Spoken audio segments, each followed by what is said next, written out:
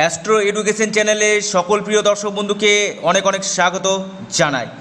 নমস্কার, আমি কৌশিক রায়। আমি আজকে আলোচনা করতে চলেছি রাহু গ্রহকে শান্ত করবেন কীভাবে, তার প্রতিকার ও প্রতিবিধান নিয়ে এই ভিডিওতে আমি বিস্তারিত আলোচনা করতে চলেছি। প্রথম কথা আমি আপনাদেরকে জানাই, এর আগে আমি বেশ মাসখানেক আগে আপনাদেরকে ভিডিও দিয়েছিলাম, মাসখানেক, মাস দেড়েক আগে। যে রাহু গ্রহ আপনার খারাপ আছে বুঝবেন কীভাবে? সেই ভিডিওর লিংক আমি ডিসক্রিপশনে দিয়ে দেবো। আপনারা জানতে পারবেন যে আপনার রাহু গ্রহটা খারাপ আছে বুঝবেন কীভাবে? প্রথম। এবার আপনাদেরকে জানাই, আপনাদের যদি রাহু গ্রহ খারাপ থাকে, সেক্ষেত্রে কি হবে?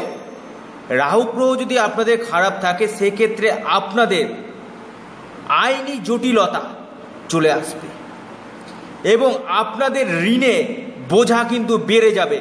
ইনভেস্টমেন্ট করবেন রং অর্থাৎ ভুল ইনভেস্টমেন্টে আপনাদের ব্যবসায় প্রচুর ক্ষতির সম্মুখীন কিন্তু আপনারা হবেন। অনেকেই পরামর্শ দিয়ে দেয় যে রাহু তো এরকম আছে। যাই হোক, আমি এখন বিশ্লেষণ করছি না। যে আপনি একটা গোমেদ পরিধান করে নিন। ভুল। রাহুর মহাদশা চলছে, আপনি একটা গোমেদ পরিধান করে নিন। বা রাহু আপনার খারাপ আছে, গোমেদ পরি দেখুন, গোমেদ পরিধান করতে গেলে সঠিক বিশ্লেষণ করা দরকার আপনার ছকের। তবে কিন্তু গোমেদ পরিধান করা উচিত। নয়তো আপনি করতে গেলেন ভালো, কিন্তু হয়ে যাবে খারাপ। প্রথম কথা। দ্বিতীয় কথা আপনাদেরকে জানাই, রাহু যখন একা কোনো ভাবের উপর বসে থাকে সে তখন রাহু কিন্তু শনির ফলটা কিন্তু দেয়। অর্থাৎ একত্রে, অর্থাৎ একাই বসে আছে। এবার রাহু যখন কোনো গ্রহের সাথে একত্রে বসে থাকে, সেক্ষেত্রে কিন্তু সেই গ্রহের ফলাদেশগুলো কিন্তু দিতে থাকে এবং সেই গ্রহগুলোকে নাশ করে। যেমন রবির সাথে বসে থাকলে গ্রহণযোগ চন্দ্রের সাথে বসে থাকলেও গ্রহণযোগ হয়, বৃহস্পতির সঙ্গে অবস্থান করলে গুরুচণ্ডাল যোগ মঙ্গলের সঙ্গে অবস্থান করে অঙ্গারক যোগ, এগুলো কিন্তু হয় শুক্রের সঙ্গে অবস্থান করলে চরিত্র দোষ। বুধের সঙ্গে যদি রাহু একত্রে থাকে, সেক্ষেত্রে আপনার স্কিন ডিজিজ হবে। শনির সাথে রাহু থাকা অতীব অশুভ। তো, এবং রাহু যদি আপনার রাশিচক্রে খারাপভাবে অবস্থান করে, সেক্ষেত্রে কিন্তু সমস্যা আসবে। তো পুনর পূর্বের ভিডিওটা আপনারা দেখে নিন, রাহু খারাপ আছে, বুঝবেন কীভাবে।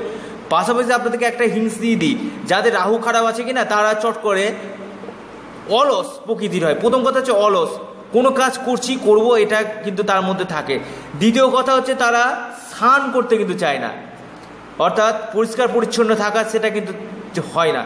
এবং তাদের কাছ থেকে একটু হলো গা থেকে কিন্তু গন্ধ, বাজে গন্ধ কিন্তু বেরায়।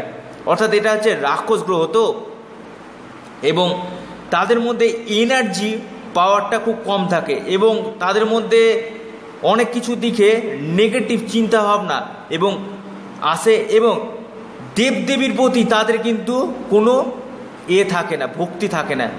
আমি আপনাদেরকে প্রথম কথা বলি, যাদের রাশিচক্রে রাহু গ্রহ খারাপ আছে, বুঝতে পারছেন আপনার লোন হয়ে যাচ্ছে, শত্রুতা হয়ে যাচ্ছে আপনার প্রপার্টি চলে যাচ্ছে। আপনি টেনশনে চলে আসছেন। মনে হয় জীবন রাখব না এরকম এরকমও চলে আসে। কি করবেন? প্রথম কথা, আপনারা দৈনন্দিন স্নান করুন। স্নান কিন্তু যতই শীত পড়ুক না কেন, স্নান কিন্তু অবশ্যই করবেন। দ্বিতীয় কথা, প্রতিদিন সকাল এবং রাত্রে ব্রাশ, মুখে ব্রাশ, মুখ অবশ্যই পরিষ্কার রাখুন, মুখে ব্রাশ করুন। তিন নম্বর পয়েন্ট স্নান করার পর দুটো তুলসী পাতা অন্তত আপনারা খান। দু থেকে চারটা তুলসী পাতা আপনারা অন্তত অবশ্যই প্রতিদিন খান। এবং চন্দনের সুগন্ধ, বডি স্প্রে হোক বা চন্দনের সুগন্ধের কোনো সাবান, চন্দনের সাবান আপনারা ইউজ করুন বা চন্দনের বডি স্প্রে আপনারা ইউজ করুন।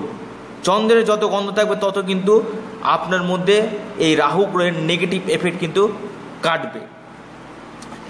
এর সাথে সাথে আপনারা অবশ্যই এই যে, এই রাহুর যে প্রকোপটা কাটানোর জন্য একমাত্র আপনারা ভগবান শিবের, মহাদেবের উপাসনা করুন।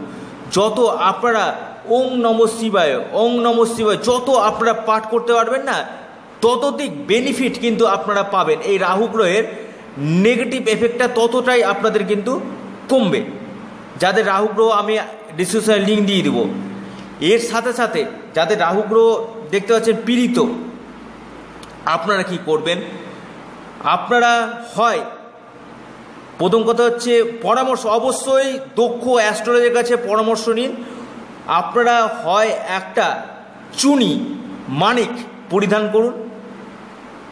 বা আপনারা মুক্তা পরিধান করুন। অবশ্যই দক্ষ অ্যাস্ট্রোলজারের কাছে আপনার যাকে ভালো লাগবে।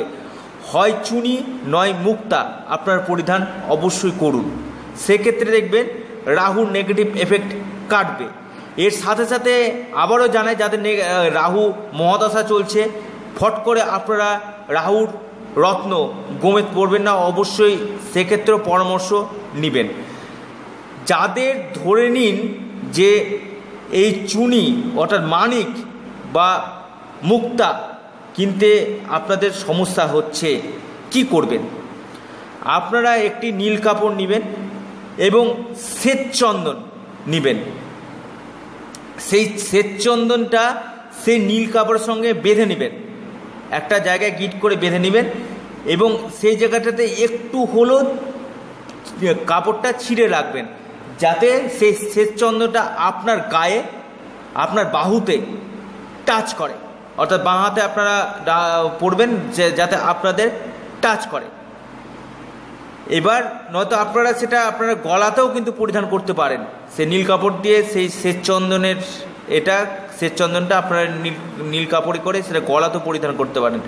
অবশ্যই দেখবেন কিছুটা হলে যেন একটু ছিঁড়ে থাকে, যাতে আপনাদের বডিতে টাচ করতে পারে।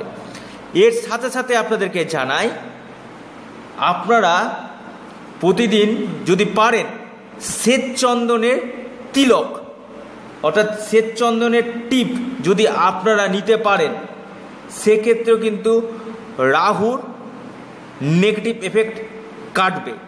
এবং সকাল বিকাল একবার বা দুবার করে অবশ্যই ঠাকুর দেবতাকে আরাধনা, পূজা আর্চা কিন্তু করুন। মন চাইবে না। এই রাহু খারাপ চাইলে কি দেবতার স্থানে গিয়ে পূজা আর্চা করতে প্রতিদিন মনে মনে লাগবে না।